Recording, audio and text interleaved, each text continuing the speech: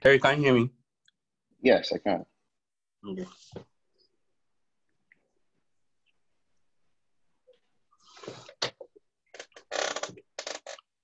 Okay. All right. So I'm live now.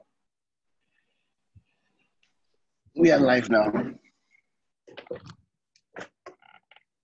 Hi, guys. Everyone watching.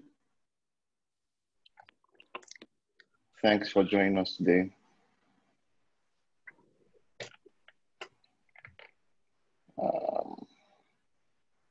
Okay. All right. So, hi, guys. Welcome to Skillbase. Um, I'm Terry. It's um, it's a pleasure to have you all here today.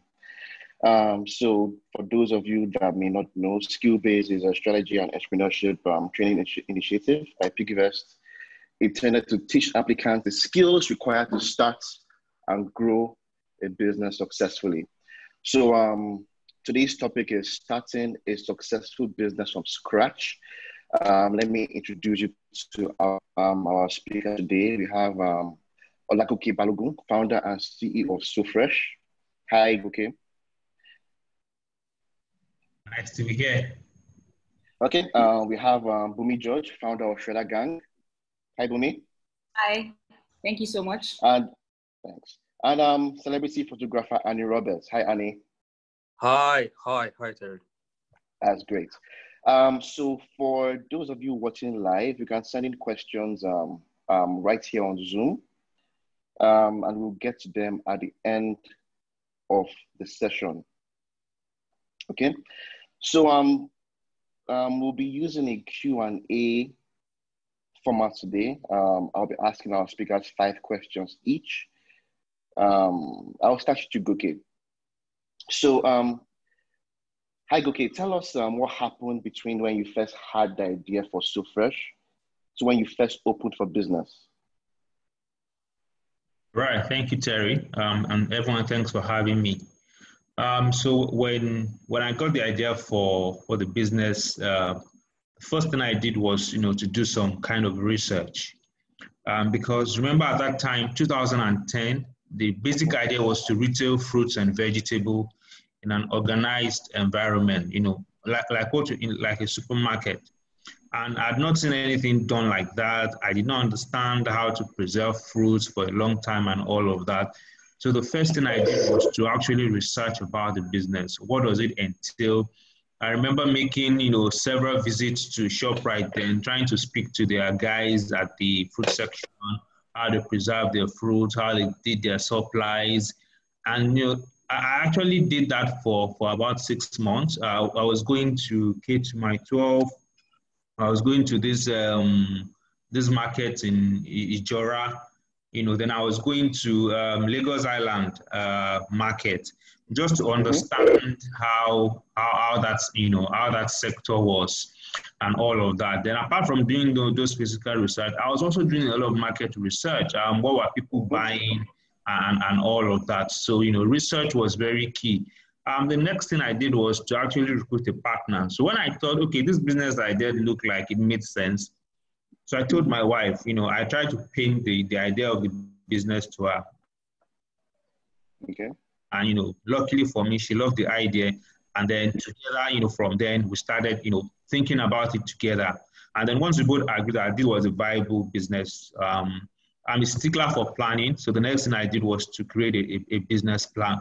And you know, interestingly, like um, like like four weeks ago during this lockdown, I was trying to arrange my my place, and then I saw the business plan put down 10 years ago. It was a very simple business plan.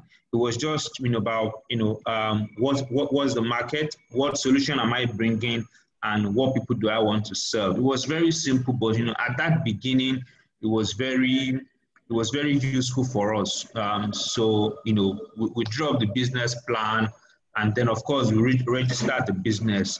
Because I'd had a lot of experience working in very organized, you know, environment. I'd worked with UAC, I'd worked with Coca-Cola, I'd worked with Chevron. So it was also very important for, for me to structure the business early on. So even before we started business, we put in a lot of structures. We had HR policies, we had operational policies, and all of that. So, you know, at the point in time, my wife was frustrated, like, how long are we going to plan and structure this thing? Let's start this thing. But, you know, I thought it was important at that early, early stage. So once we did that, um, we started looking for, you know, locations um, where we thought was viable for, for the kind of business we wanted to do. And so and so that was it. And so you know um, we, got a location and then, and then we started. I mean, so I'm going to summarize from the day I had the, that idea first to when we started. It was a lot of research, market research, you know, um, business, looking into the business itself, also customer insight to know what kind of customers are we do want to attract then I, you know, I enlisted a partner, in this case, my wife. I shared a dream with her. We believed in it together. And then we created a business plan for us to run, to, to, to run with. And then, you know, we, we try to put, you know, proper structure in place right from the start. We registered the business. We had a business account for the business. Um, we had basic, simple policies in place. In fact, we had our onboarding and training programs in place before we started. And yeah, so that, that, that was the journey between the idea and the startup phase. Okay, okay, that's great. Um, so Bunmi, let's go to you. Um, so tell us about Shredder Gang and what inspired you to start it. Okay, thank you so much uh, for the opportunity to share my story here. I really appreciate it. So, um, for me, I have a personal history of being overweight, and I'll say obese, right? So, from an early age of about 13, I started gaining a lot of weight. Okay. And so um, I struggled with obesity from all of my, all through my teenage years up until, you know, early adulthood. And I remember just telling myself that, you know what, Bunmi, you have to take control of your life. I mean, I had tried different diets, right? But being okay. a black girl through and through, I still mm-hmm. like regular stew, efo riro, egusi, all that kind of stuff, right? And mm-hmm for me, I just couldn't let that go. So imagine going, and I was living abroad at, at, at, at the time. So imagine going, you know, your family eating something and you're eating something else, and going months on a diet and not eating any of your regular Nigerian food. It just didn't cut it for me. So um, I decided to now prepare my own type of meal plan with my Nigerian, okay. learn to make Nigerian food in a healthier way, and I did that.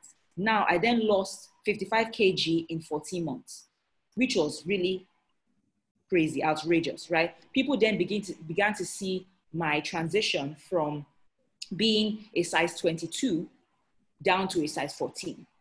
And everyone was like, oh my gosh, Bunmi, like, I mean, we saw this entire process. Like, what did you do? You know, I had my mom's friends calling me saying, telling my mom, Bunmi have to help me. Ah, this is my stomach. I need to lose weight, right? So a lot of people were calling me here and there.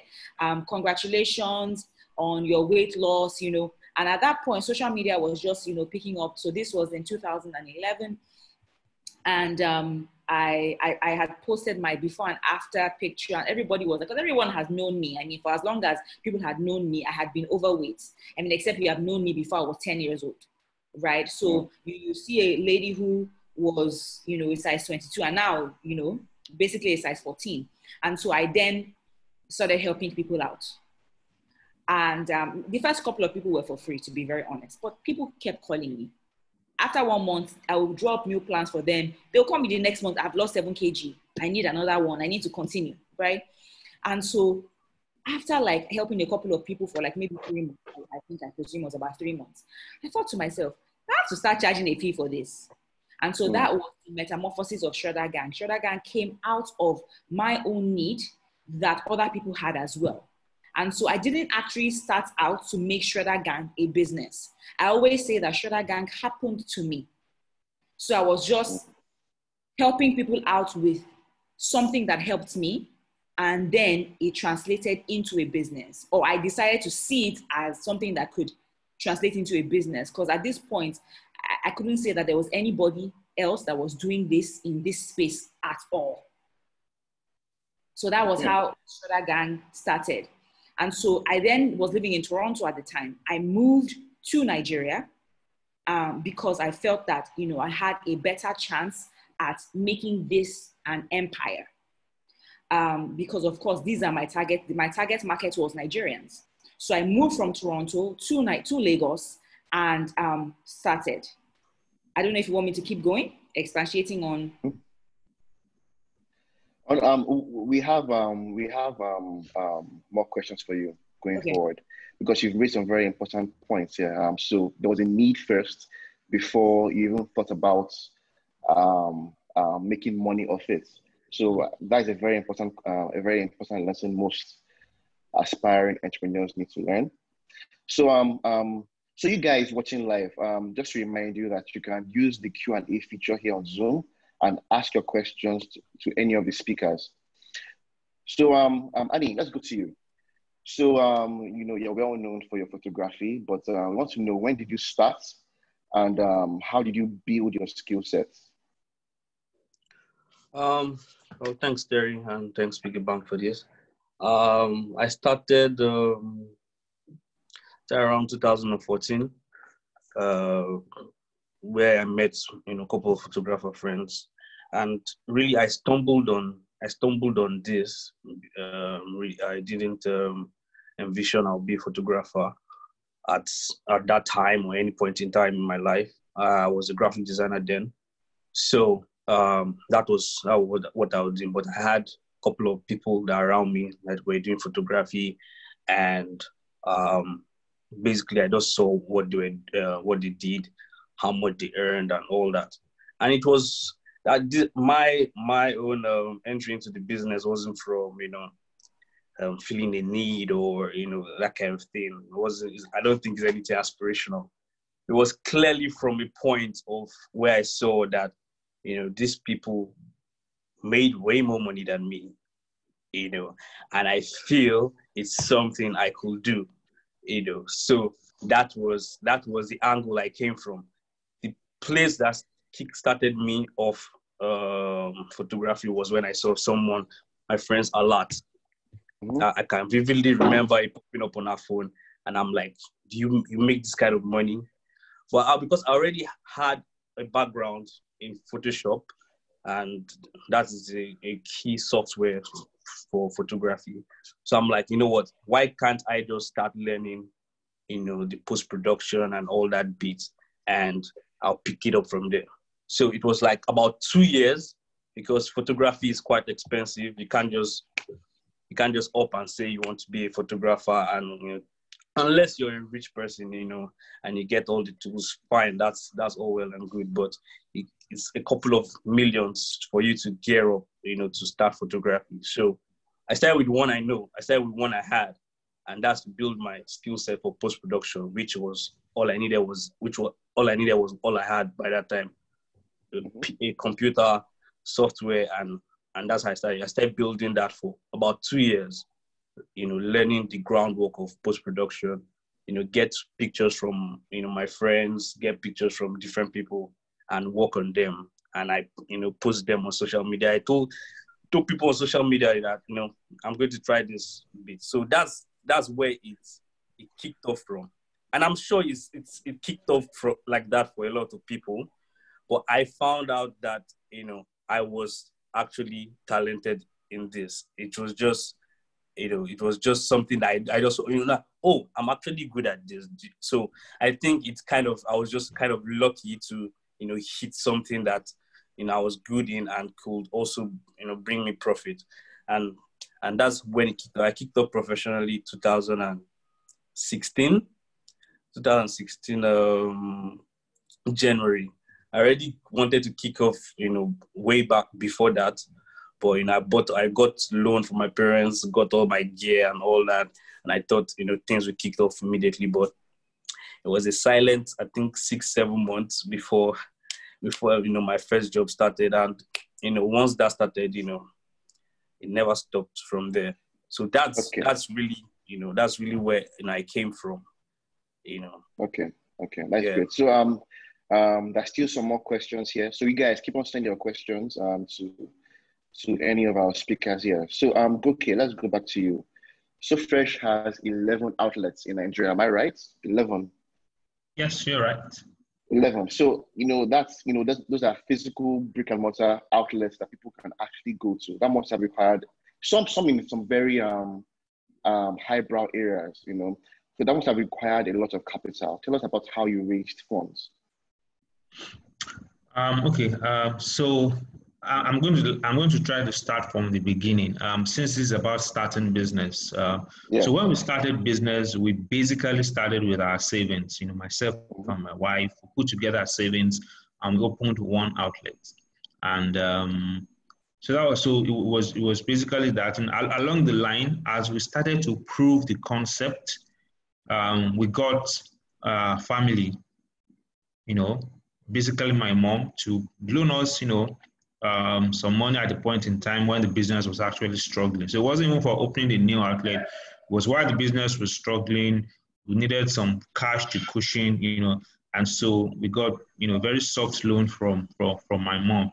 And that was how we started. And we did that for eight years. So it was a lot of bootstrapping, a lot of reinvesting back.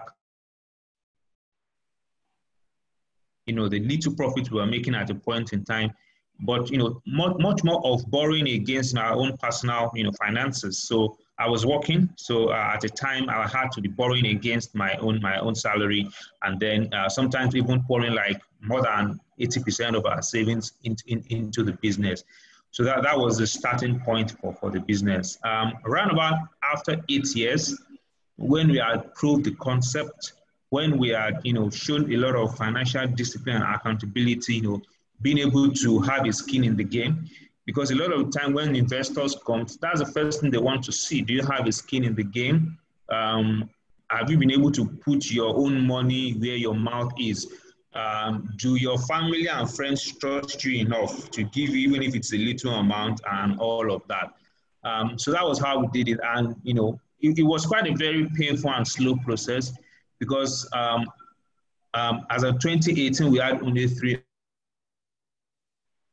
outlets. And that was from running it with our own money, with our own profits and investing it back. And so, you know, about 2017, we knew the business was ready to go to the next level. And so um, we started um, looking for external investment in, in, into the business. And so we're looking for the kinds of, you know, um, investors that partner with us, not just give money, but also help with, with the growth of the business. Um, so how this happened was um, in 2017, I went for a course at LB at um, EDC, and then there um, it was being funded. The course was being funded by uh, an NGO in in Netherlands, and so you know it was an opportunity to examine the business. When they saw what the business was doing, they saw the growth potentials for the business. They saw how well the business has been managed over the last two years, they became very interested in, in putting in funds. And so we went through all that due diligence for, for about 15 months. And so eventually we got you know, external funding um, sometime in 2018. And you know that that's what has propelled the business from there. And we went from three outlets to 11. Um, in fact, the, the, the COVID situation has slowed down our growth. We should probably be at, at about 15 or 14 right now. But of course, we know you know what, what's going on. Uh, so that has been the trajectory of you know um, of running the business. I would say for you to attract you know funding for your business, either through you know bank loan or through equity investment, um, the first thing is that you need to understand your market. How big is the market? How sustainable is the business? Can the business go from 10 to a thousand? Can it go from a thousand to 10,000? Because we must always remember that um, funding, investment, it's, um, it's not charity. They are also in it, you know, to make money and to return money to, to their own, you know, shareholders, as it were. Um, so being able to prove the business, being able to show growth, being able to show um, capacity to actually manage and deliver on that idea. So it's not for it's not enough for you to have a brilliant idea. Do you have the team? Do you have the resources? Do you have the capacity to actually deliver on that idea?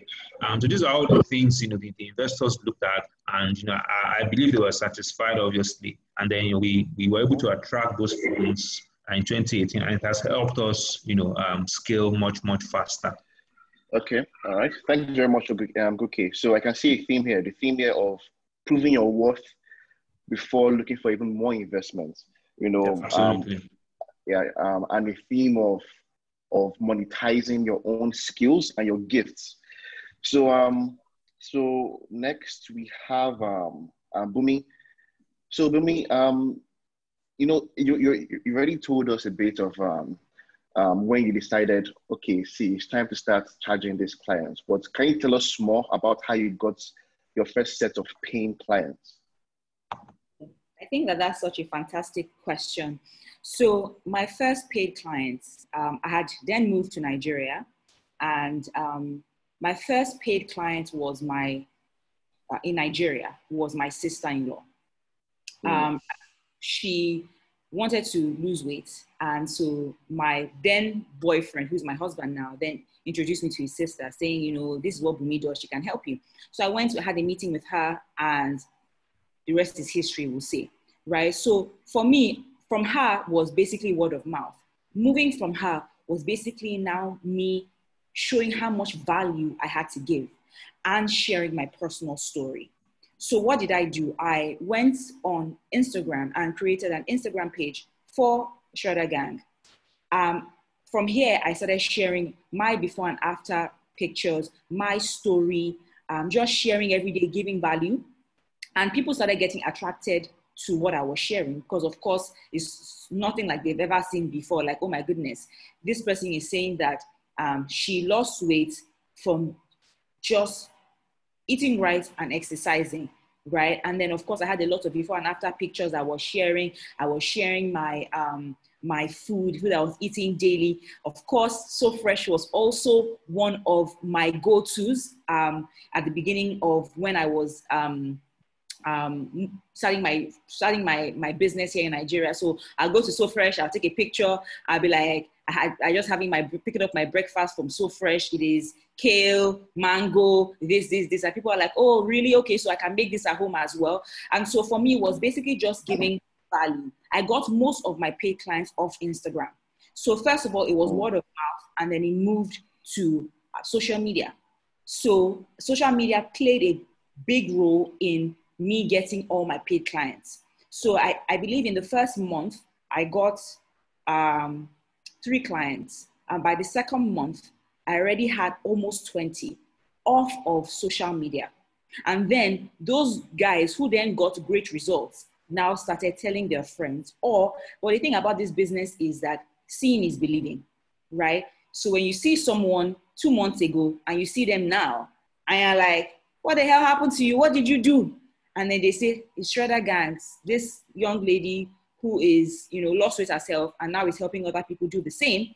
Um, people are just calling me. My I was I was getting very busy, um, and so that's how I started getting um, my paid clients. And the thing I actually loved about it was the people that were actually serious about losing weight had no issues with pain, right? Because they had seen my own progress, right? So I was the biggest storyteller like I, it was my story you could see. And for me, um, because I had a lot of stretch marks, it was like a, it was like a believable story. So there was something to show. So even if I, I was like, let me say this, I was my billboard, right? I was my billboard. If I go into a, a store and some, some way, somehow I start talking to someone, women will always ask me, oh, so your stretch marks, what are you doing about it?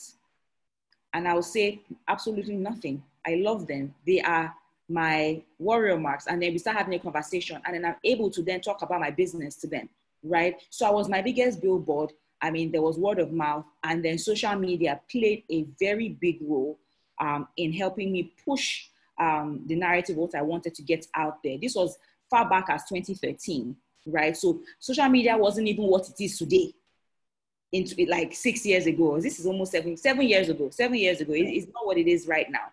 But with the limited um, uh, things that we had then, I was able to get uh, my paid clients through that. So for me, I would say the three the three things. I was my biggest billboard, sharing my authentic story. Um, two was word of mouth. So people, you know, sharing uh, uh, my services with other people, or people seeing it and saying, you know what, I want what you did. And then third, social media um, which was basically just amplifying my voice. Okay. All right. That's that, that's fantastic. Um, um, so we have marketing via storytelling. You know, that is one of the most effective. I can tell you from my own personal experience, my own personal journey. That is um, one of the most effective marketing tools an, an entrepreneur can have. So, um, so you guys have, have been sending lots of questions. Um, keep them coming. Uh, we'll try and um, rush through them at the end of this session. So, Anny, this one is for you. Um, you know, you, have spoken a little bit about how you got funding for your first set of equipment. But um, you know, I know I know for a fact because I, I, have friends too that are into photography, and um, you know, one camera, one million naira, and so on and so forth. Like, man, wow.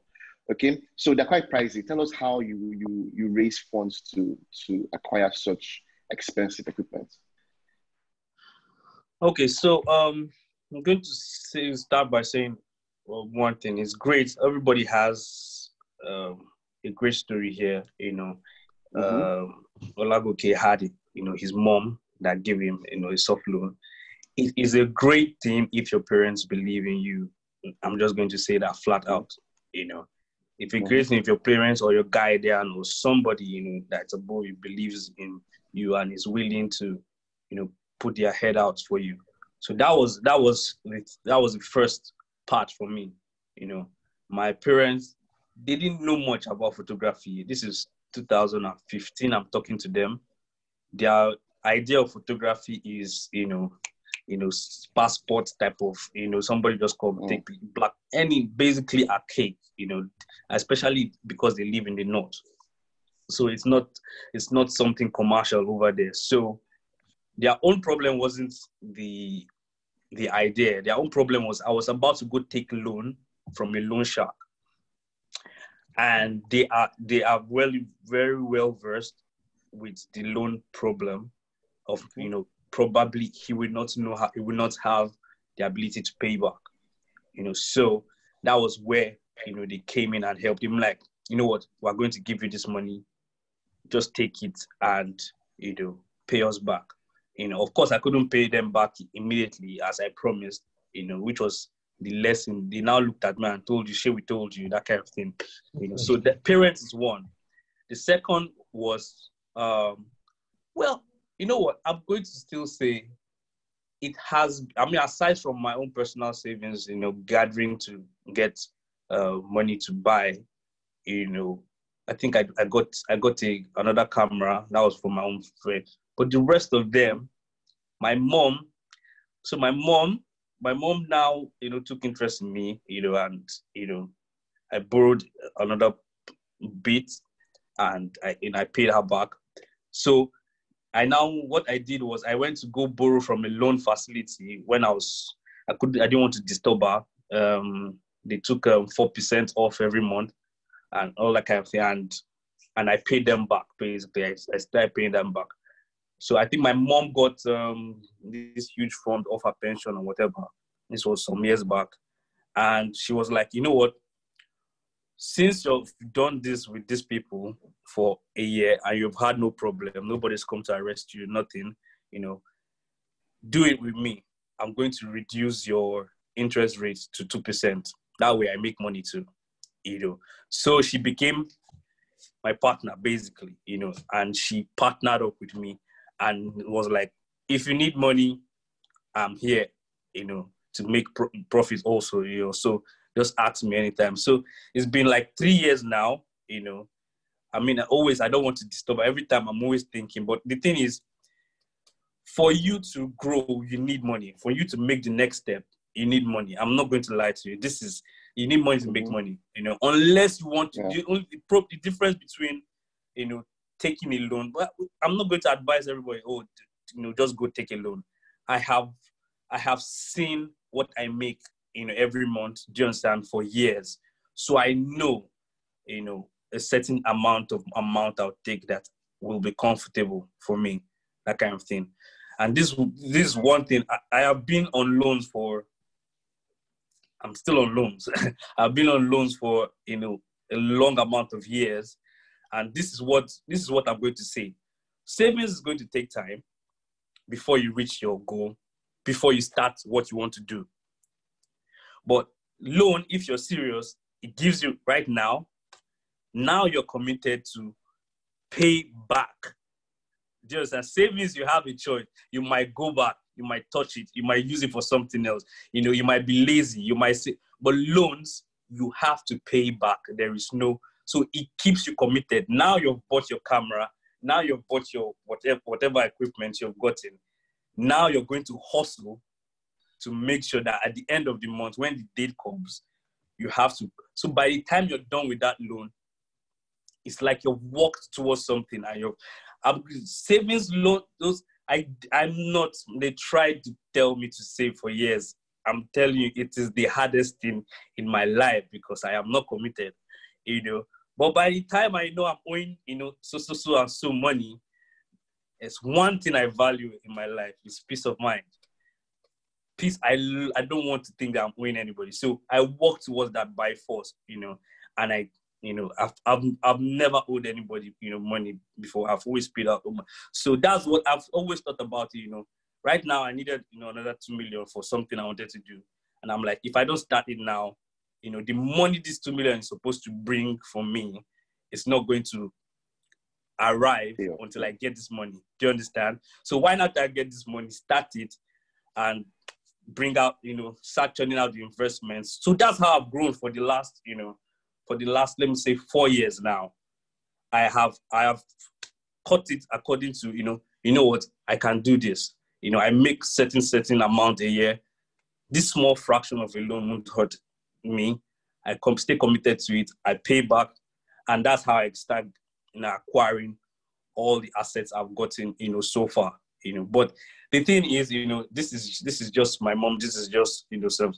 You have to work hard, you know, to if you're going to get from anybody, you have to work hard on developing trust. Even with the company I I I loaned from, because I was so diligent with them, they accepted, you know, I, I think four five of my friends have gotten money through me, through my name, basically, because they trust me that much. They're like, Anny, you know, do you vouch for this person? And, you know, I make sure I follow up on the rest of them.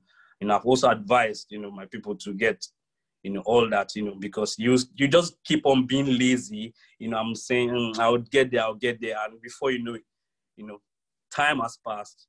You have nothing in your hands. Savings nada, you know, you've eaten it or something has come up or whatever. And, okay. you know, so I feel that that was what, you know, pushed me. Wherever you see me right now is because of that, you know. So that's it. Okay. All right, all right. Thank you very much, Anny. Um, so yeah. you know, it was, it was very interesting when you said that um, yeah. um, your loans keep they, they keep you invested in in your craft, in your business. You Definitely. know, the same way you know, if somebody invests your company too, that's investment, you know, exactly. You, exactly. So, you know, I get that very much. Yeah. So, um, um, let's go to you, Goke. Um, so I think you, you spoke a little bit about this before, but tell us about how or um, how you got your first set of customers. Did you do any form of marketing, any PR? Was it word of mouth? So um, give us more, shed more light um, on that. All right. Um, so in the in the very early days, um, 2010, um, social media was not really a thing. I'm not even sure there was Instagram in Nigeria, not at all. Um, there was Facebook, but I mean, we, nobody even really saw it then as a as a business tool, as it were. So for us, it was a lot of pounding the streets. Um, basically, we went door to door. I personally, you know, recruited a few of my, you know, um, well, as a family members and went door to door, um, sharing flyers, telling people about business. Also, remember it was quite it was it was quite a challenge because when we started, there was not a lot of awareness about e- eating healthy. Um, it wasn't there, so we had to basically build a market right from scratch. So it was more of going door to door, and then we started doing trade shows, so events, you know, trade fairs, and just an opportunity to show our business. In fact, at that point, it was less of making a sale, more of let people know about this business. So we attended a lot of um, things like sports day schools. there are two there are two particular schools around us in Ogba. We used to go to. We just go there. We share our flyers. We tell people about our business.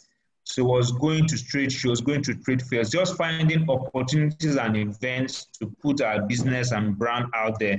Of course, we made sales at those events as well, but even more than that, we also, you know, made contacts. And then partnerships worked for us very early in the day. So when the business started struggling, you know, we started looking for who are uh, who, what are those kind of businesses that can complement what we also do. Um, so we form we form partnerships, you know, you know, together with other types of business that could increase our own visibility and also increase their own visibility. So it was more like a win-win situation. And you know, in those early days, you know, th- that was how we really started to bring in, you know, new customers and attract, you know, attract customers. Of course, we also leveraged our network. So church, um, kids school. You know, what I find these days is that a lot of people have over dependency on social media, which is great. Uh, right now, SoFresh does a lot of social media, but aside from you know doing a, a, a, a, lot of social media, you know, um, it's also actually leveraging your network. What are those people in your network? you know, if you're a parent, you, you go to school, you have you have um, other parents in the school. Um, if you go to church, you have people in the church. If you belong to other kinds of social, you know, social um, groups, you also have people there. You know, so you know, we leverage a lot on on on our network. Um, you know, right from that beginning, and that was how the world started. You know, you know, getting out. Shredder Gang Bunmi was one of the people that we, you know, we partnered with early in the days. She was in the healthy space. She was advising people on nutrition, you know, weight management and all of that. So it was just a natural fit. So we did quite a number of things with her in those early days, know, leveraging on our platform to expose our brand to our audience and, you know, same way, you know, she exposes our own brand to our own audience. Uh, so I want to say there's a lot of value in social media but you know there is also a lot of value in trying to you know in, in I say in the more traditional way. That was how we got our first set of customer. Now we also heavily rely on social media you know to engage all our you know our community and all of that uh, but in those very early days it was it was those traditional um, means you know and I think it is still very much valuable today a lot of the times people even start if they see if people see a Bunmi George um, take a so fresh product they're more likely to believe her than if I open a so fresh page today fresh and say I can do this. So people actually trust people better. So look for people in your in your network, you know, that you can leverage on. And when they start to believe in your product, as long as you have a good product, a good service, they are even it even up to now. Um, when we track our marketing, you know, um, what's it called, initiative, we still find that word of mouth is still very, very big for us. Word of mouth is still very, very big for SoFresh, even though we do a lot of other marketing things. So, you know, um, yeah, I, I, would say, you know, um, those, those are the things we did in, in those early days, just going to the streets, putting our products out there, attending trade shows, door to door, you know, finding the right partnerships, and you know, now we leverage a lot on social media as well. Okay, okay. Um, thanks a lot. Um, that was very insightful. Um, so Bunmi, over to you. Um, so Shredder Gang has over 158,000 followers on Instagram. You know, that's not something she's, you see every she's day, the boss. Yes. It's not something you see every day. You just don't have 158,000 followers on Instagram, you know. So um, I don't think some banks have up to that amount of followers on Instagram. So um, it'd be interesting to know how you grew that that follower base um, in, in, in what I would think is a short amount of time, really. So um, um, can you give us more more light on that? Okay, thank you very much for that question. I mean, Shredder Gang um, is one of the largest weight loss and health fitness communities in Nigeria. And the way I have been able to build it is by providing value. every single day. So, as much as I want to make a sale, I want you to buy from me. I want you to um, come on the next program I'm having. I want you to come on my page and find benefits every single day. Something that relates to either you, your husband, your children, your colleagues, something. Every single day, I want you to learn something from my page. And this is what we do when we think about our content. So, content is king. This is the way that I've been able to build Shredder Gang's um, large following is by giving valuable content. Like even in, during this pandemic, I kind of switched how I did content, right? So in the first place, let me give, for instance, um, another big thing before I, I, say that is humanizing the brand, right? Um, in the early days, I used to, like I said, share my authentic story. I was my personal billboard. A lot of people knew me. But as the big business started to really grow and I started to get very busy, um, I, I wanted to, you know, remove myself from being the face of Shredder Gang, right? I wanted the business to grow organically in its own way so that if you remove me from this picture, the business continues to grow because people are not coming solely be, because of me, right? So, I mean, we did that for, for a while, but also it's important to understand the different waves that social media throws us, at us, right? So right now, in let's say in the last two years, people don't buy products, they buy people. Mm-hmm. They buy, they're buying your trust. They're, they're, they're buying your expertise, your own, not what your business stands for, right? So I had to then start again, like before, being my own personal billboard more so in this in, in, in, in this covid-19 season where a lot of people are stuck at home they don't know what to do they're gaining weight right so i started to now come on every single day and give value this is the first way that i've been able to grow and i wrote some down the next one is being regular and consistent so some people um, in growing your instagram your instagram following so I'm not, I'm not only growing the numbers so it's not about numbers. It's not about 160,000 people or 35,000 people. It's in terms of numbers. It is about, you know, the quality of what you're giving to the numbers that you have right now. So for me, I'm not really interested in, oh, I want to go to 200,000 followers in next week. I'm interested in catering to my 158,000 followers right now. And of course, that yields you know, with more followers every single day, right? So I'm consistent, I am regular. Every single day I am doing something. The thing about the Instagram algorithm is if you are not consistent and if you're not regular, they stop putting you in people's mind eye, right? So like the in your feed, in the feed, you stop showing up. You stop showing up in, in people's feed. So for us, we had to come up with content strategy because for us, we know that content for us equals to sales so we now had to sit down and say, before we used to do four times a week, probably like four years ago. And then we found out that four times a week was not good enough. In this COVID season, we're doing seven to nine posts every single day because we need to keep our, our community engaged. These people are home, um, people want to know if they want to eat something, where we tweet some or, or we post something, hey, have you done your workout? People are like, oh my goodness, I was just about to eat a shawarma. Okay, let me put this down and you know go make a smoothie or something right? So being regular and being consistent. Also, I love to talk about what Goke talked about, which is collaborations. Collaborations have been a big deal for us. So collaborating with, with other brands who have, you know, a share kind of like the same voice and our same outlook, right? So, you know, so um, collaborating with a So Fresh. So So Fresh and Shredder Gang do a lot of a lot of collaborations from beginning of time.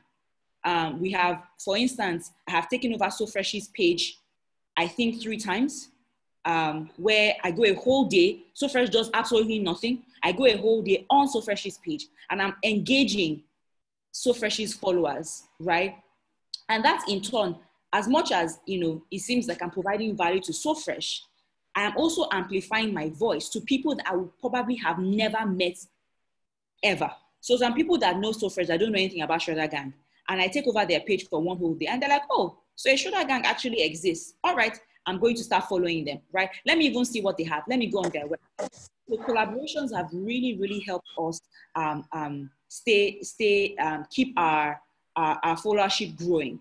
Now, another thing is um, make sure that people trust you, right? So for me, trust is very big. And how do I get my my followers to trust me? I am very authentic, right? So I make sure that I mean what I say and I say what I mean. So I'm a person. I'm a real person. I'm not a robot. I'm not a goddess. I'm a real person who is a woman in her early 30s who has children, who is working just like you, right? And I try to show you what I do. For instance, a couple of days ago, I, I spoke to them at the beginning of the lockdown. I told them I was going to be working out, I'm going to do this and that. So you have to engage with your audience, engaging with them. That's how you build trust with them. I told them I'm going to go on a whatever, whatever. At the end of the 14 weeks, I only lost three kg. I didn't come and lie and say, you know what? I have lost 10 kg, guys. This, this, this, this, this. I that way they're able to trust me. I said, guys, I only lost three kg in this time. Um, da, da, da. However, I'm I'm not mad because I did so, so, so, so, so. So you know, being authentic with my life, being truthful now buys their trust. So they will say, you know what, actually, uh, I want to continue following you, or I want to patronize your business because I feel like you're a trustworthy person.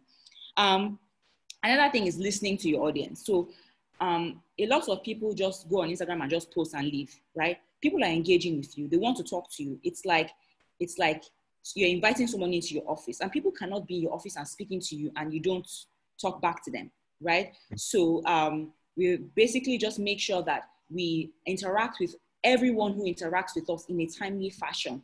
Um, this is, these are one of the ways that we have been able to um, build such a following and not only a following just in numbers it's like a it's like a cult like following. If i come up and say guys if you take buy this pencil you, if you do it like this you, you lose weight they will buy it. Because they actually believe because all these things I, I have listed right? So that's it in a nutshell. All right thanks a lot for that. Um, we will actually need to move a bit faster now because um, um, time is not really on our side. So, um, so over to you, Anny. Um, so how did you um, get um, your first set of paying clients to pay for your, your photography services? Um, well, that's why that's why I say I say um, it's professionally starts, you know, by so, so, so time because that's when they started paying. So, it started professional started by you know 2016 January that's when I got my first paying client, you know. And I'm going to just say this: it's it's a ripple effect, basically. That's what it was, you know. It shows up on this person's page. This person displays what I did, you know, and people ask questions. And I want to I'm also thankful for you know the friends I have, and you know, basically people online, people around me. You know, they kind of push you know my business you know to other people referred me and and that's where you know it all picked up. And also i'm going to just i'm going to say this. I started when i had a nine to five. So some mm. people are in nine to fives right now and they are trying to switch to you know being their own boss and running a business and all that. And i'm going to say i don't know. It doesn't work for everybody I'm going to say take it slowly, you know, ease the exit, you know, check it out, make sure, make sure for certain that, you know, it is what it is. Because, you know, this, what you have is, you know, sure financial security every bond. And I'm not going to lie to you, you have sure, for businesses, it's not really like that, you know there are a lot of times things don't work out, you know, the way you think it will a certain more. So that's how I, I started when I was working, you know, um, I was working in a place where, you know, my, my boss had this big house and it was only him in it. And that's where I started shooting. I asked him if I could use the living room. There was nothing there. And that's where I started shooting and, you know, working up my skill level until a place where I knew where business was functioning fine and I knew I could place my uh, what's called my um, letter to resign, and I left because I was making a certain amount of. So if there's something you're doing right now, you know, keep doing it. Also, you know, keep working with your business. You have to put time into two of them and find you know balance. By the time you see there is you know there's money, there's traction on that, you can easily just move out. But I got I got business basically word of mouth, social media. You know, by the time I put work out, you put solid. By you, by the time what you want to do for my type of business is by the time anybody gets to your portfolio or your page, all they need to do is basically just go there. You're like, oh, okay, okay, sure, he can do it. That's all. They don't need to. They don't need to go there and start really looking, you know, to convince. No, what you want to do is put your work down. Work, you know, even though it's going to take you a while, make sure you get your skills right. Make sure everything is on par with people. That by the time people, you know, encounter you, by the time they see your work, you know, they already know that yes, he can do the job. He's capable, and you know they don't need extra convincing. So that's that's what helped me really. You know, everybody that came, everybody that was directed to my page was convinced, and all they needed to know was price. Basically, if it fit their budget, and, and that's all. Okay.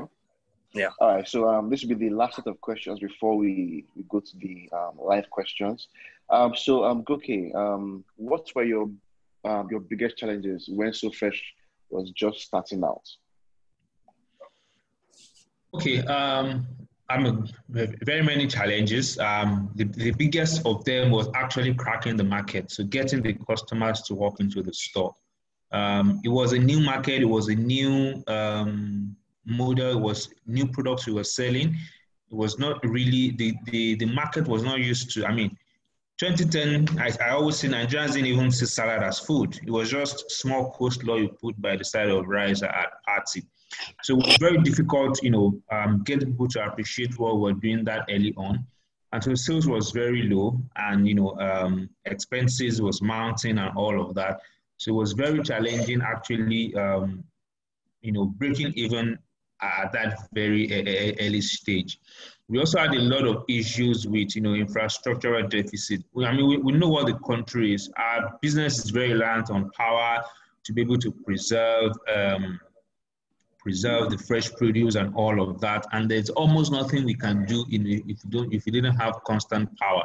So you know, struggling with that with that part of it was really quite challenging. Um, also, um, um, human resource, um, it was quite tough um, at that very early stage to be able to get people to do and see the vision um, how we wanted it to be because we wanted to set a kind of standard. We didn't want it to just be like every other Nigerian business where you know people are like the the service wasn't good and all of that. So, and, and so at that early stage, it was kind of difficult, but we had to go through that, you know, through our systems, you know, structures, you know, putting in policies and all of that training. But at the very beginning, it was quite challenging getting the kind, know, the right kind of people issues. So if you've ever run business in NGO from government, there's always an agency out there trying to fleece and you know um, make things difficult for you. So those are those are some of the you know challenges we faced early on. But you know, like like in business, um, a lot of the times is in solving and you know overcoming those challenges that actually you know start you know it begins to you know put your business out there and you know as you begin to work you know to to to resolve those those issues the business you know keeps on growing. So those are one of the challenges we faced you know early on. Also location was a big challenge for us. Um, remember we started out in Ogba and the, the, the, truth was that that was when we started that was all the that was all what we had saved could could afford and so even that location itself became a problem for us to be able to attract the right kind of customers early on. Um, so those, those those are some of the challenges we faced you know early in the life of the business. Okay. So um, um Bunmi let's throw the same question at you. What were your biggest challenges when Shredder Gang were just starting out? Um, for me, thankfully, I didn't have a lot of issues, to be very honest. Um, I don't know if this is because of the business model, um, or I would say maybe mostly because of the business model. But I would say that the biggest challenge that we had was actually getting people to um, realize that this actually works. Why? Because this was a digital weight loss business. So it was online something that somebody had actually never seen. People were still in the era of touch and feel. How will you help me lose weight if you have not even seen me? You can't even touch me. Are you going to come and take my weight? Are you going to check, you know, um, my height? How do you know that what you're going to do is going to work, right? So those were the biggest challenges um, that we faced, that I faced in the beginning. Um, but it was just educating that you know what is possible. Just fill the online form, send whatever we ask you to send, and then I'll get back to you. So you know, for them, a lot of a lot of um, and, and in the beginning, I actually had a lot of um, older clients, to be very honest. Like it's even now that the demographic has changed. So in the in the beginning, in the beginning, my demographic was mostly between 35 to 65. Um, it's only as the years have gone by that it's, it's, it's, it's getting, you know, it's younger. In the early stages, I had mostly women who were in their 40s on average. And they were very used to um, a person who would actually come to see them because maybe they were big madams, right? But I had to keep pushing and saying, no, I don't have to see you. This is how this business works. Um, and after, you know, educating them here and there on this, this is why, you know, this will work or go, actually going to go and see them the first time and letting them know they're not a scam um, you know, because sometimes you have to bend over backwards to please a customer. And so um, some of them going to see them one or two times, and then of course carrying on the entire process again digitally was the biggest issue. Also, getting people to eat a certain way. Now, in 2013, people were only used to taking weight loss pills, drinking some sort of herb um, that would help them lose weight, or drinking shakes or whatever. So they didn't understand eating a certain way right? So you know um eating you know having a smoothie taking some fruits in whatever. They did all of this for leisure to add to whatever it is that they were eating before right? And so just educating them you know was was a task was an uphill task to be very honest because you hear people tell you that people tell me but my father ate this way nothing happened to him he lived till he was 99 did not die why should this happen? Why should I be eating this a certain way? So you mean I won't eat this? So I think that was the biggest issue. But really educating them and having an answer and actually teaching them. Um, because for me, I believe that when you educate someone, they're able to understand better as opposed to just telling them this is what you should do. So I, I did a lot of education. A lot of education is what I was doing in the beginning. And I think it was a little bit daunting, to be very honest, because repeating yourself over and over again um, is a bit tough, right? It's like teaching a two-year-old to to be to potty train, right? But um, at the end, it worked. So those were my okay. biggest issues in the beginning.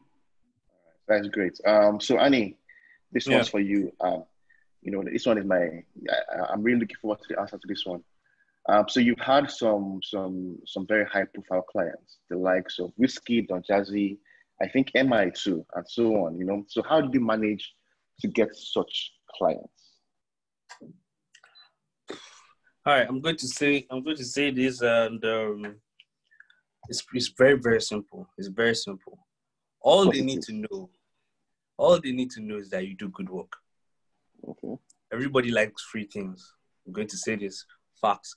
So all they know, if it is free, one, second, it is really good.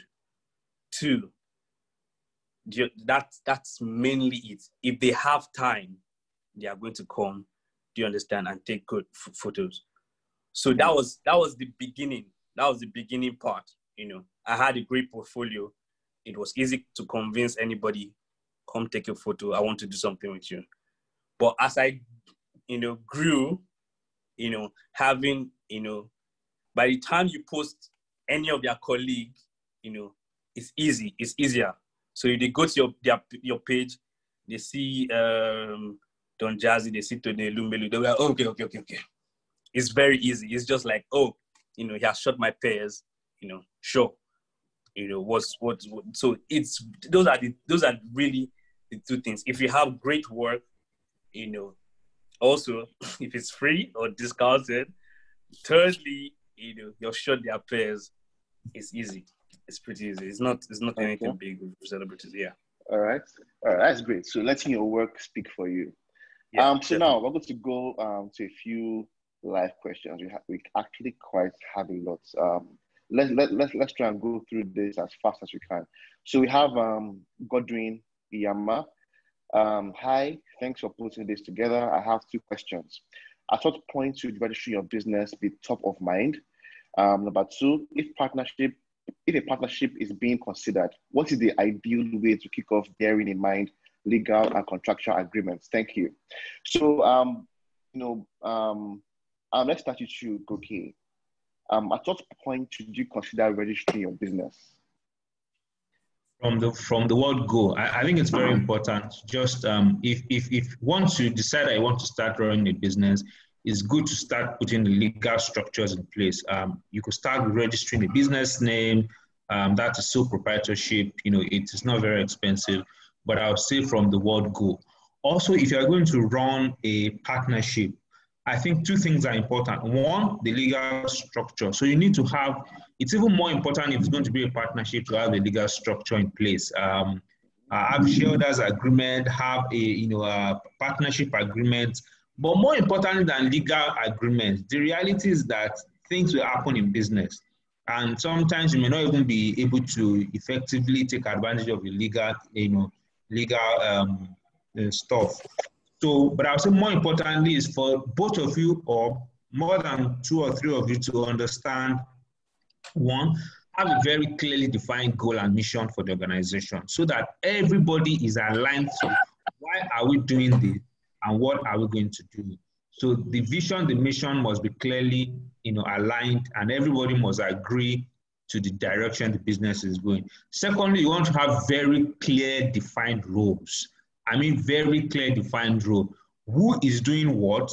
Who is responsible for what? And how will you keep yourselves accountable? If I'm responsible for finances and market, for example, and you are responsible for um, sales and operation, who keeps me responsible? Who am I accountable to? You also need to be able to be accountable to each other you want to set parameters and metrics where you use to measure each other. And I would say keep the lines of communication open as much as possible. Um, so your meeting regularly might be weekly, might be bi-weekly, or you are constantly aligning, you know, your, your ideals. One thing that also causes a lot of issue in partnership is finances. So you want to be very clear how you're going to treat finances. Some people want to spend profit as it comes in. It's not bad. Some people want to reinvest it and grow the business. So, what do you want to do? What is your philosophy about managing money? What's your philosophy about treating the company finances? So, have to quickly put together all those guidelines on how things are going to, in, you know, evolve. I'll say if it actually involves a lot of capital, you want a good partnership or shareholders agreement for both of you. So that, don't take things for granted. Don't say it's my friend for 15 years, 20 years, my wife. There's nothing like that. Business just introduces, you know, some very strange, you know, parameters that could make things go south. You never know how you are going to respond to when issues arise. So I would say structure right from the beginning. Okay. Okay. All right. So um um let me ask you this, Bunmi. So um another question: How do you identify a need when it seems like almost all needs have been met? Hmm. Okay, so um, I think first of all, not all needs have all, not all needs have been met. I don't think it's I don't think we ever get to a place where all needs are met. So let's change that mindset first of all. But if it seems like everything that you want to do is um, is saturated, find something that for me find find something that you do well at, that you do good at. You know, maybe you are very you're a good salesperson. You know, maybe find a business that you enjoy doing, and then market it as much as possible right? So if you even say, for instance, if you say, "Oh, the market is so saturated, um, how do I how do I stand stand out?" Because I mean, all everybody has what they're doing right now. For me, I believe that as long as you have a voice and you are your own authentic person and you sell um, as much as you want, you have your own clients that will come to you. So for me, I would say make sure that what you're choosing to do, you're passionate. Well, people say don't you don't have to be passionate about what you're doing, but I'll say be passionate about it because when those times come, when you feel like, oh my God, I can't go on anymore, it's that passion that kind of fuels you. So I think the first thing I'll say to you is not all needs are not all needs are met, to be very honest. I think it's just sitting down and thinking about a, a, a niche in a need that you already know about, right? That needs, let me give you an example. So in in Nigeria right now, they do a lot of plays. Forget that if there was no COVID 19, right? They do a lot of plays, uh, maybe every season, Easter, Christmas, you know, and they're like a live play at maybe Terra Kulture or at um, at uh, whatever place they do the plays. And actually, yesterday I thought about it. I said nobody has actually started doing plays for children with children as the cast. So in your own mind, you're thinking everybody's doing plays now. I don't have anything to offer. If you now decide that you're going to have a full children um, cast as you know doing the play, and then your target audience is inviting children to come, that is where you have built a, a niche out of a need that has already been established by some other people, right? So I think is actually looking at a need that you're passionate about and then finding a niche and niche down there and do as much as possible as you can do. I think that would be my answer. Okay, all right. So um, we actually have a lot of questions. I don't think we need to go through all of them, mm. but uh, I'll try my best here. So we need to move a bit faster. So Anny, uh, let me ask you this: How do you price your service? Uh, you know, how do you know what price to charge clients? Um, I think first of all, you have to check check around and uh, know what the prices of your colleagues are. Then you know, put uh, figure out your place, you know, among your colleagues, you know, and know okay, am I am I, you know, should I follow this level or do you, you know, am I, I'm not up to them. Should I bring it a bit down? Because in our, in our, um, in our service, not not everybody's on the same level, basically. So, you know, it kind of whatever whatever your power is, you know, you put your price right there. Whatever your value is, you put it right there. So I think whatever you think your price is, your your value is, put a price on it um, like um, a couple of years, I, I stuck to one price. I stuck to one race card because uh, because I had things to do. Basically, what what I also said before, the loans to furnish and all that. Not that I couldn't increase it, do you understand? But I needed, I didn't need any disturbance in the flow of cash at that moment in time. But I had finished everything by last year, and I was ready to, you know, I've always wanted to double it and all that, but I always wanted to increase it. But now I was more comfortable to like, you know what? If nobody comes or whatever, or it trickles down, that's fine. You know, I'm in this level. You know, for for photography, it's right there. You find your value, know what you're giving to your customers, then put put a price on it. It's that simple. It's that okay. simple. You have to know what works for you. Though. Okay. All right. So a lot of people have been asking this, you know, and it's quite funny how many people have been asking this. What? Let me let me ask you this, um, okay. What business can someone start with one million naira? So honestly, that that's a question I usually don't answer, and I I also think there is no answer for that business. There is, I'll probably say there's almost no business that you can't start with one million naira. What I mean is you can start from any level. Mm-hmm. I think asking people what kind of business to start. Um, so personally, not a question I answer because I really can't tell you what kind of business to start.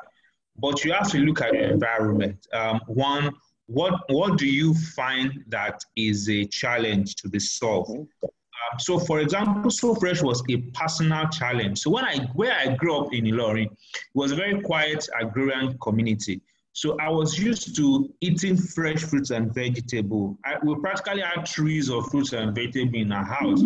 So when I moved to Lagos, I didn't like the kind of fruits and vegetable that was in a bit to solve my own personal, you know, will I say challenge or pain. The same thing for for Bunmi. It was personal to her. So I think sometimes, you know, a lot of times business opportunities are personal. So look around you. Um, what, what are the opportunities? What are people struggling with? What do your friends complain about? What do you complain about all the time? Where do you think you can add add value? Um, and almost any kind of business you think about, you can actually start, you know, with with, with one million naira. Uh, it's going to be difficult for me to start really now, you know, types of businesses. Uh, obviously, if you want to, if you want to sell um, food, you can you can start with a million. You can even start with much less.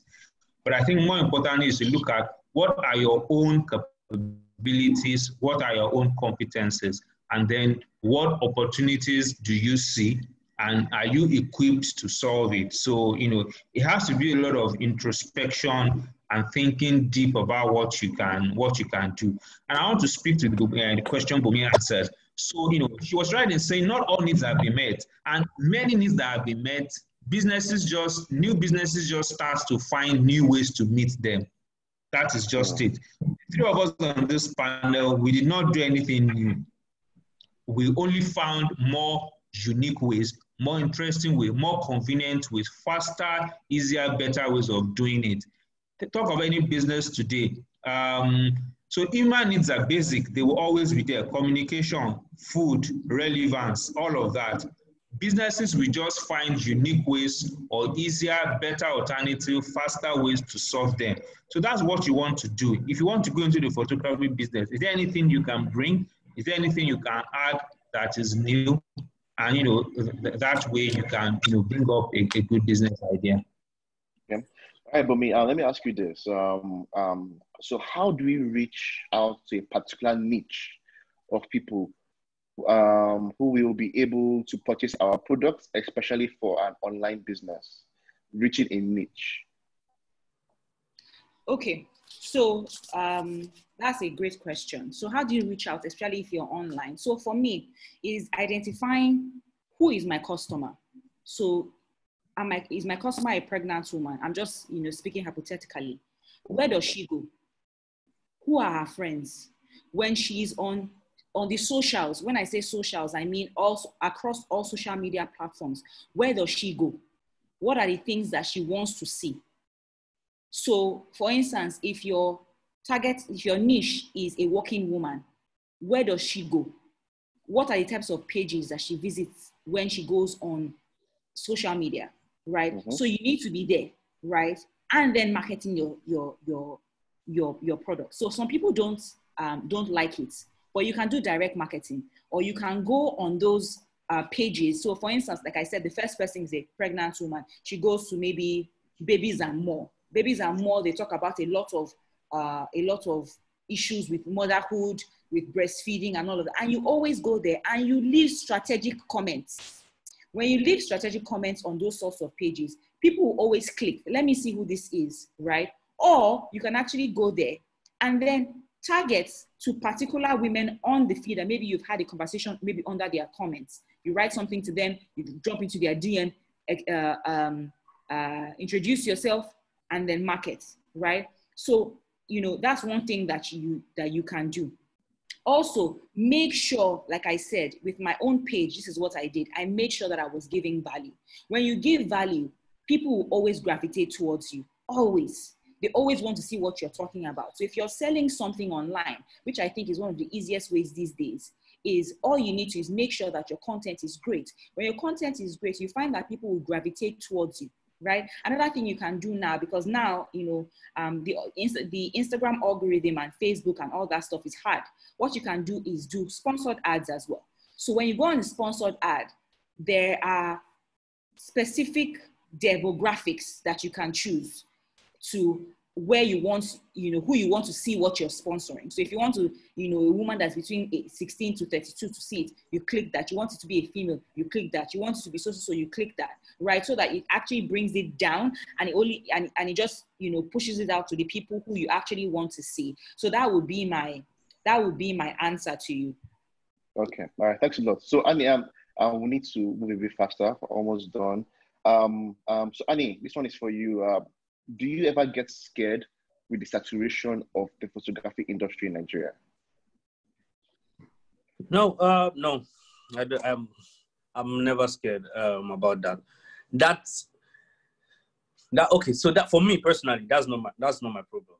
You know, that's not my mm-hmm. problem. I I have grown from you know where I, I didn't believe anybody you know work work with me to where I am today, and I am fine with whatever number of customers I have. So, what I am now doing, you know, I was talking to someone the other day, I'm finding the next thing to do.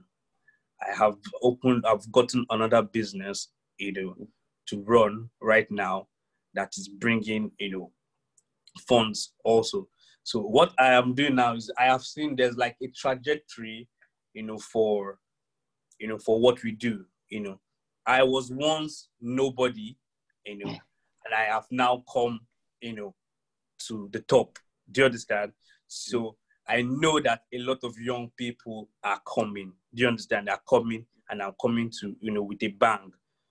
That shouldn't be my problem. That shouldn't be my fear. Do you understand? Anybody mm-hmm. can come and replace. This is life. This is what the job is. You know, somebody mm-hmm. better will come. Fine, that's fine. Me, I want to be in a place where I'm not afraid of that. So what you what whatever the fear really is not about mm-hmm. saturation. Mm-hmm. The fear is really about stop of inflow of cash or money, really. Because if there was any, it was always something that brought you cash. I don't think anybody would care about you know oversaturation. So what you want to do now, since that is the major problem, is not unless you're just somebody that enjoys fame or whatever it is. I don't I don't know. But what you want to do is now find another thing or a couple of things where you can now, while you're on top or while you're getting there, start focusing you know your minds to other things you can do maybe variations of your work other other ways you can pro, you know provide services other ways you can also make money to that you have ideas of how to run run and that way by the time you have multiple flow you're not concerned about you're not concerned about one right now i'm going to say this you know online i am finding you know my exit strategies before five years you know, out of photography. You know, if I am here still, no problem. You understand? But I want to be in a place where I really don't care about this in five years, that kind of thing. So I think that should be people's mindset. Find multiple, find something else. If you're on the top, don't worry about saturation. Find something else. You're good at more than you think. Okay. All right, that's great. Um, so um, um, Goke, you know, I want to, you know, since we're about strapped for time, I want to combine two questions here. Um, so, is it important to have a mentor while starting up or growing a business? One, number two, how does one over, overcome the fear of failure before running a business? That's for me, right? Yes, yes. Yeah. So, mentor. Um, if you find a physical mentor, great.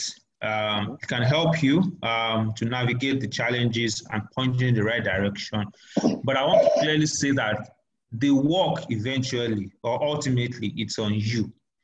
Um, starting out, I didn't start with any mentor. I didn't even know anybody I could go to. I practically learned by myself.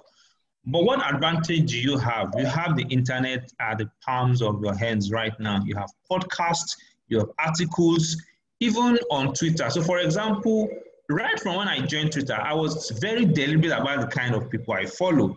I have many people that, you know, I can call them mentors because I learn from them every day, either on Twitter, even on even on Instagram. So you have all those platforms, YouTube's.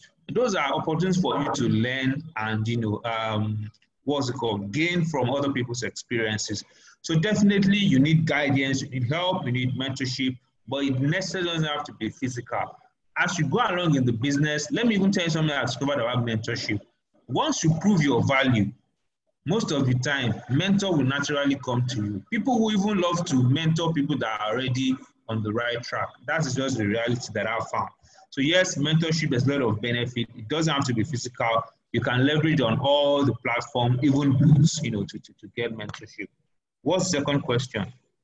Um, um, the the how do you overcome the fear of failure before? How, how do you overcome the fear of failure? Um, um, so is by doing right. Um, it will always be there. The fear will always be there. The the chances that you will fail will always be there. That is the reality. There's nothing certain.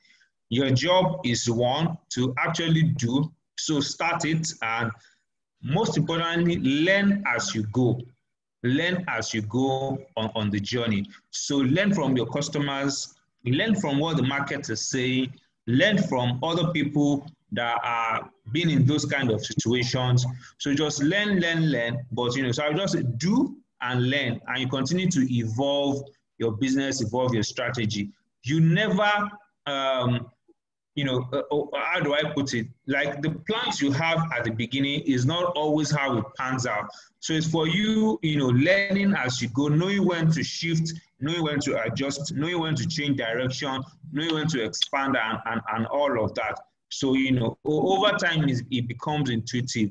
But it, you will never overcome that fear by sitting down. It's only if you make a move and take a step. Um, that, that's how I address that um, that question. Okay, um, so Bunmi, let's go to you. Um, I recently started a souvenir event management company, um, and I have had like four people who have consulted me, but none have gotten back. It's a bit discouraging. How do I manage such disappointments?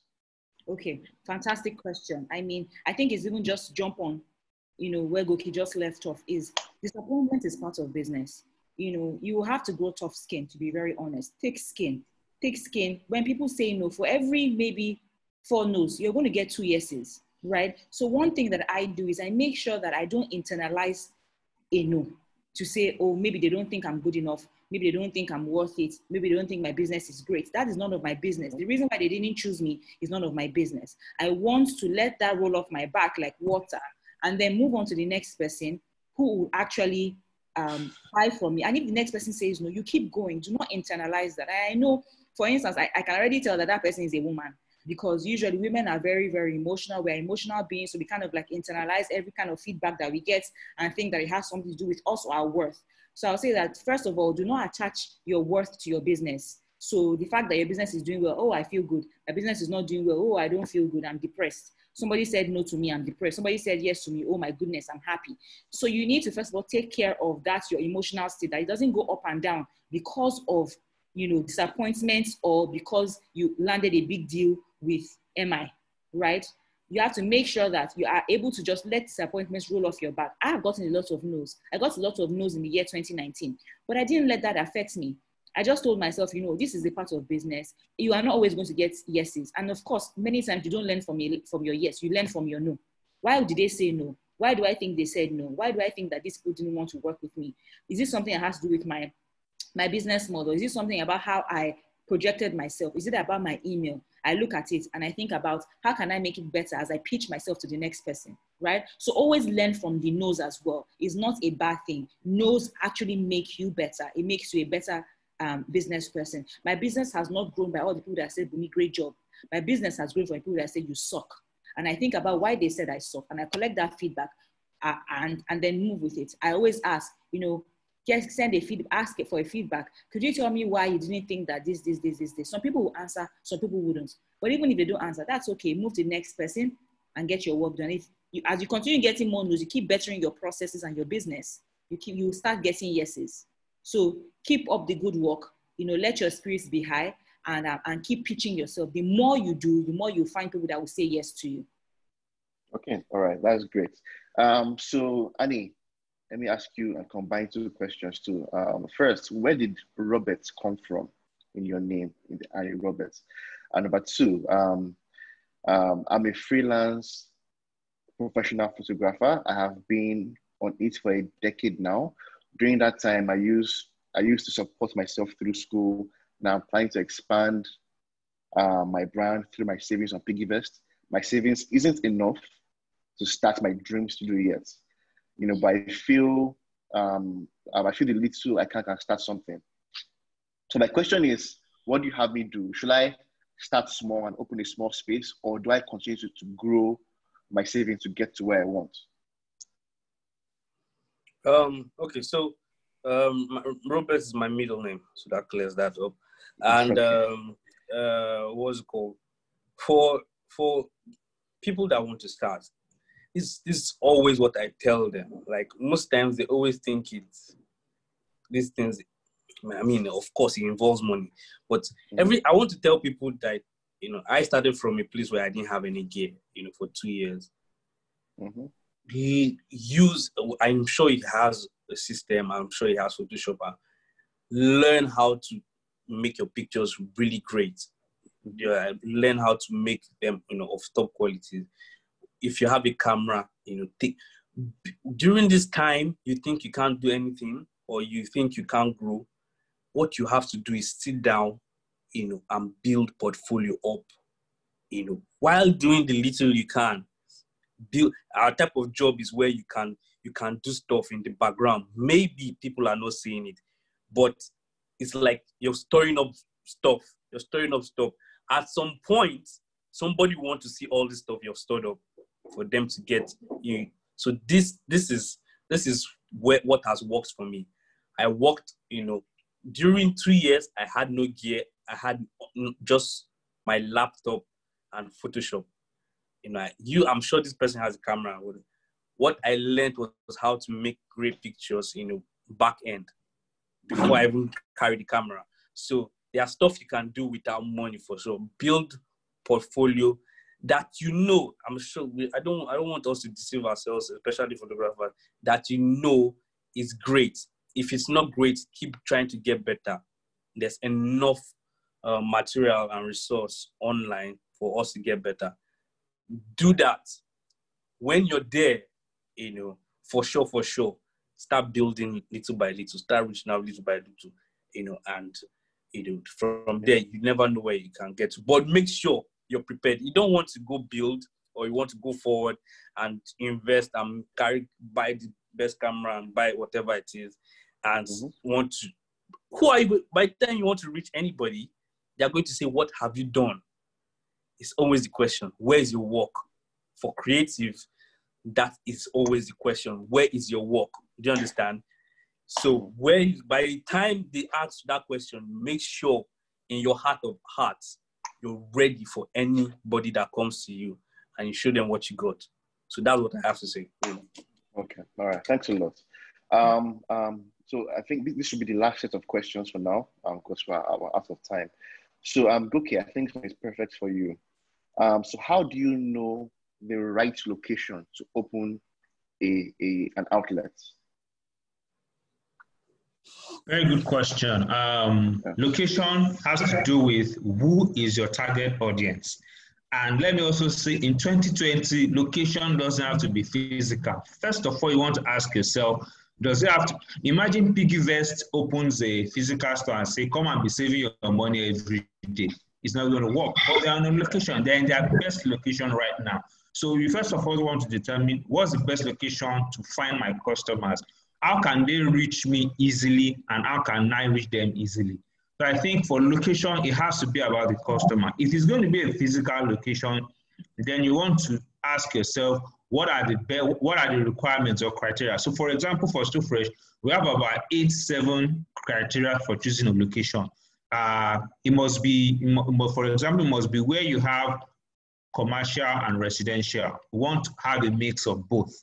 And then even the parking space, um, it must have a front and a back exit because of the kind of business we do.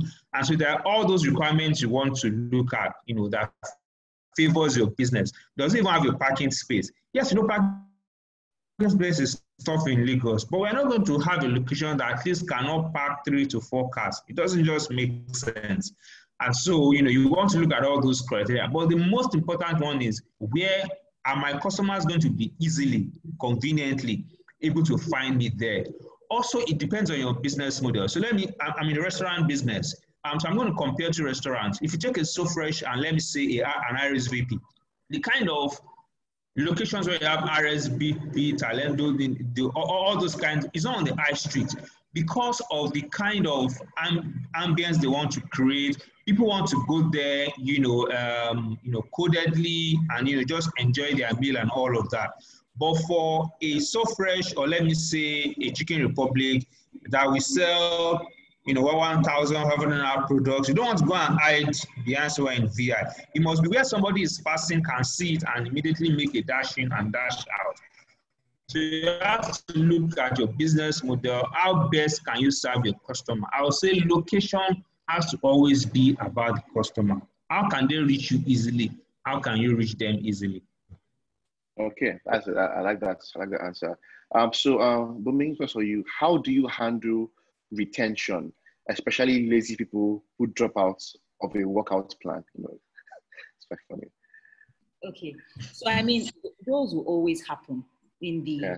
Nature of this business, people will always fall off. However, there's something I've found is that when you you find out first of all the type of clients that you have. So over the years, I have I've been able to categorize clients into three. First of all, I'll tell you two. There are clients who do not do well in groups because they are introverts, they don't talk much, um, they will never contribute, and it's easy for them to actually just hide. Now you have clients, so those clients are actually one on one clients. They are clients who you should take on one on one. Even if they tell you that, you know, I can do well in a, you already know, your gut is telling you that this one is not going to work. From your interaction on the phone, you should be able to tell a client when you do a consultation with them. I don't know how you run your business. However, when I do a consultation with a customer over the phone and I talk to them for 20 minutes, I can already round them up into a, a, a mode and put them in, right? So another person who um, is an extrovert, who loves to talk, who wants to see what everybody, this person in Lokoja is doing, what this person in America is doing, what this person in Cross River is doing. I already know that person is not going to do well as a one-to-one client. If I put her one-to-one, she's going to tell me that my business, that my that my services are nonsense. Why? Even if I'm giving her hundred percent, because she doesn't have anybody that is motivating her or that she's gisting with, right? So you have to always know what mode to put your clients in. So for me, we have been able to learn and understand that when we have a conversation with a client, some people you can actually outrightly ask them. However, some people don't even know themselves. They will say, Yeah, I like to be in a group. Then they're in a group and they don't talk, right? So you have to go the extra mile and understand your clients. And then, for instance, if you put that person who loves to chat in a chat group, you find out that at the end of the group, they will sell your business to a hundred other people. You were, how you did great. However, that same person, if you kept them as one to one, they will tell of how horrible the service was. They'll say, oh, she only spoke to me once a day because they were expecting to be engaged for 12 hours in a day. Because you have some high maintenance clients. So you have to understand what a client is and what a client's needs are and meeting those needs, right? Also, they have clients that no matter what you do, they will still fall off. And that's just reality of life. You have to just encourage them. And, you know, if they fall off, then at the end of the day, they've, they've, they've fallen off. There's really nothing you can do as much as you have tried your best to try and encourage them to keep them going. At the end of the day, it's their human will that you're working with. You can't really work somewhere that's already giving up. There's nothing much that you can do, right? You can always just make sure that you always end on a great note. Don't say, well, you, you just you're just lazy, you didn't even do well, then you just get out of my program. No, you actually have to make sure that even though okay, you didn't meet your goal, um, but hey, you learned X, Y, Z, still actually make them feel good about the process of what they came to do. So you didn't get your goal of 10 kg. However, you have you now learn to eat well. You now at least work out three times a week. You know, so that's very very important. Yeah. So um, Anny, this one's for you. Um, have you ever had creative blocks and doubted yourselves? And um, if yes, how did you um get over them? I, I, I really, I, well, the thing is, I stock up uh, I stock up inspiration. I stock up on inspiration, you know, that kind of thing. I make sure I'm looking out nothing less than you know 200 photos a day of related stuff, you know, and I'm saving them. I'm, I have a bank for them. Do you understand? Because everybody's coming to you to create magic and create unique magic that's that's for them only. So everything can't come from your head you have to always make sure that at any point in time you are you can go back to your bank pick something up that inspires you to do something new you know and go. So i'm i'm really never stuck creatively. Sometimes the few times i've been stuck creatively was when i had to beat my work. So let's say i release like recently i've released some stunning in images now, the worrying part about that is that I have to be on par with, with those type of things or make or make better images. So that's the only problem I face where I have to now sit down and now say, okay, you know what? It will take me a while, but I have to think of how, of what way or what I can make, what I can do to make things better. But yeah, I just stock up. Make sure you look at a lot of things. Make sure you look at the best people in the game. Make sure you find out. Make it as a point of contact to always look at people better than you. Always look at people doing things differently. Go and find them from wherever they are. You know, if you're in this game, go and find there people doing amazing things. Go and look for many so that you don't run out of You can look. There is something you can see in them that you say, yeah, I can take this part and do. You know, so I think that's that's how to overcome it. Okay, that's great. So um, let's let's go to the last set of questions from us, not from these are not live questions. These are from from um, the, the main questions. So, um, okay, let's start with you. Any advice for any um, aspiring entrepreneur who wants to start a business in this pandemic? In this pandemic, start a business. Yeah. All right, that's a very tricky one. Um, I would say, you know, more like a summary of everything we've said here is first of all, you need to understand the market, understand your customers. Um, what, what is the value that you're bringing to the market first and foremost? So you want to clearly define that. Is, is, that, is, is that a need right now? Um, is it going to be a pain or you know are you going to be serving a painkiller a vitamin as usually say so you want to clearly define what solution you're bringing into the market the, the, the next thing I, I would say is that you also need to understand your business, the sector. So there is a place for understanding, you know, what the, the important, you know, parameters and, you know, like Anny just said, have you taken time to understand what others are doing in that market? Where are you bringing extra value? So I find that these days, a lot of people are going into the food business because, you know, many businesses are, are shut down.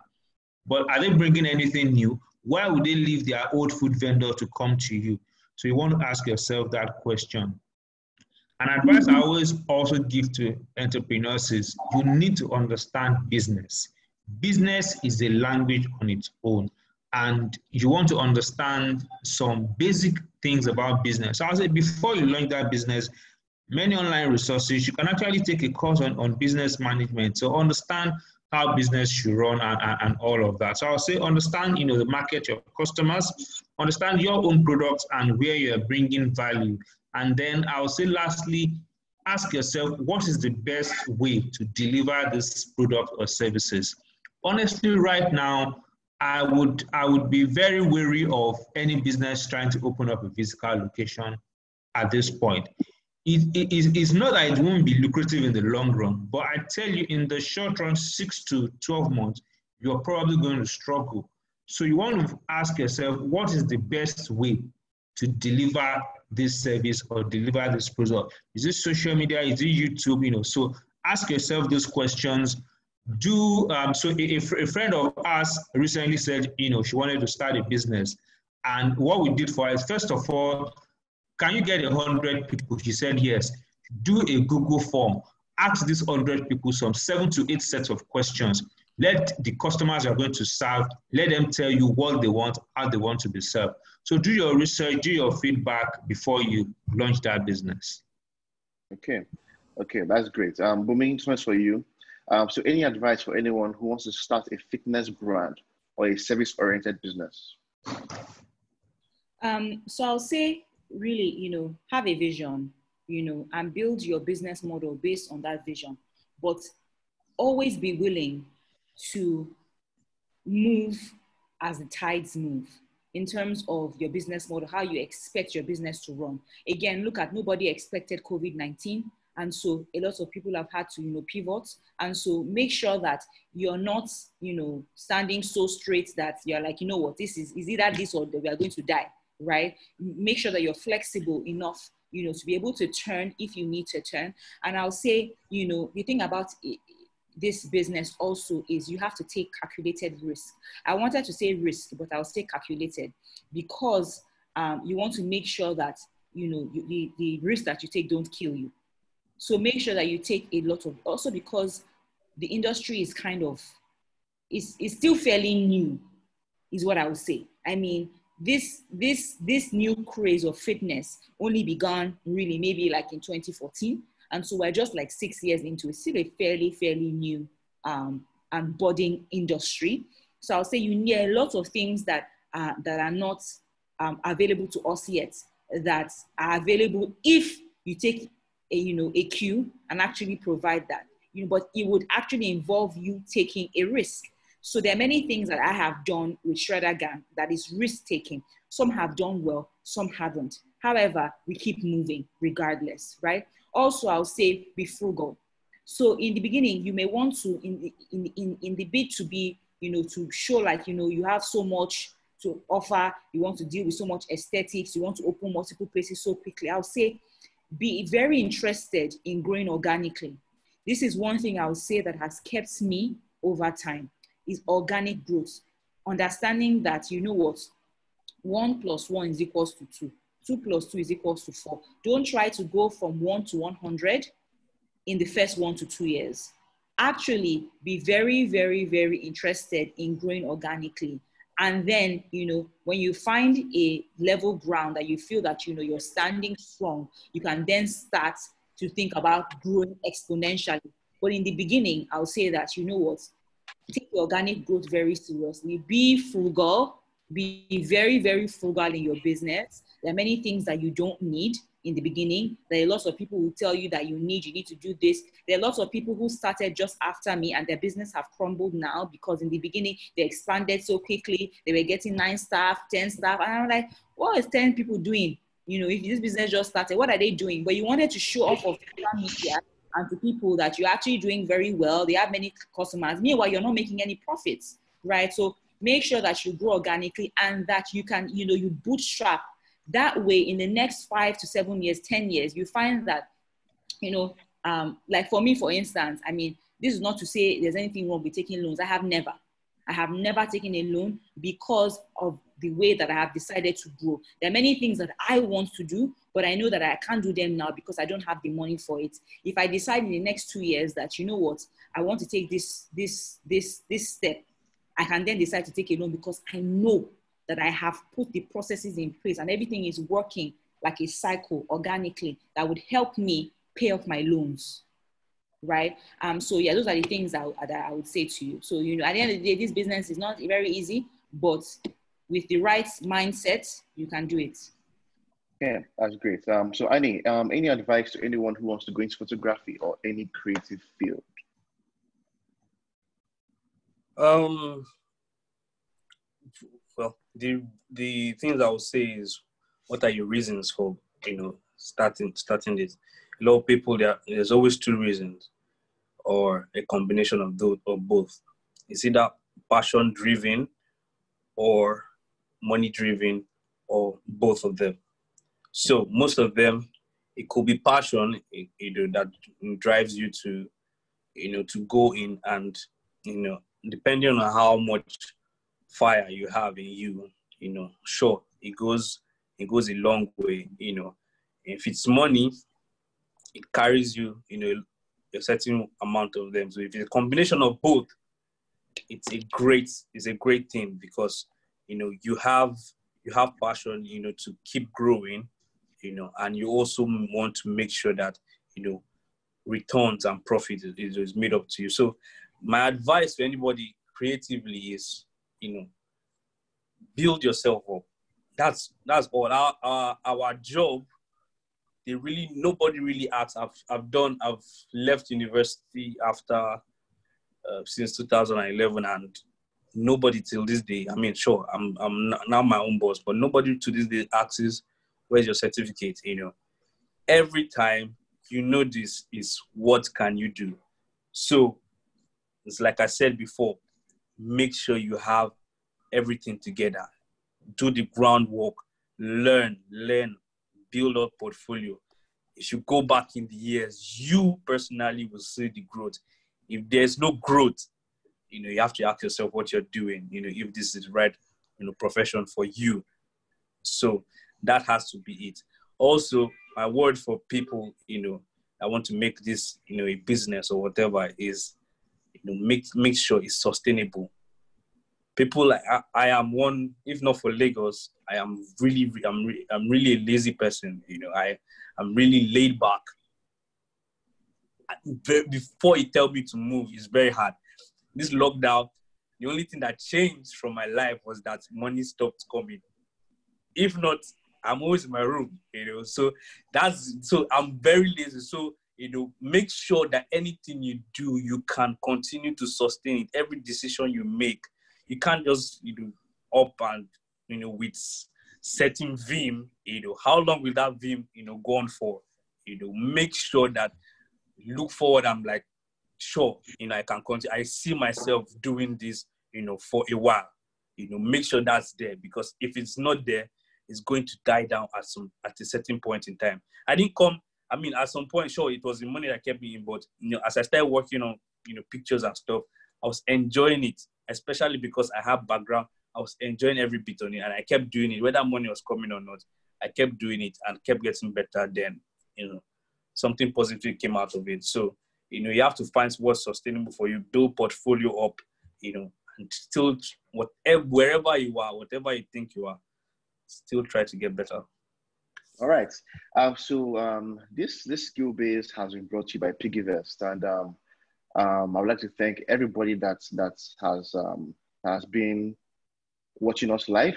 And um, this video, this whole session will be uploaded to YouTube, so we can even reach more people. And um, I think there's something, um, you know, I think Anny has something for us before, before, before we go. Something for Piggyvest users. Anny, what, what's it then? All right. So, um, if you're a Piggyvest user, you know, and go tell your people, I have something special, you know, in partnership with Piggyvest for December. I have something. So I have a partnership coming with them for, you know, my packages for my photo shoots. So, if you want more information, watch out on my pages, watch out on Piggyvest pages, and we're going to come to you live. It's, it's a special package. I'm sure you All want right. it. So. Thank you very much. Thank you very much, Anny. Uh, thank you very much, every um, um, all our speakers. Um, um, Olagoke, thank you very much for for spending time with us. me, George, thanks a lot for coming and, um, and sharing um, some knowledge with us. Um, so we've come to the end of our program today, and um, um, and once again, thanks to everyone for for staying. You know, this went on longer than than I actually planned for. Um, so until next time, guys. Um, bye.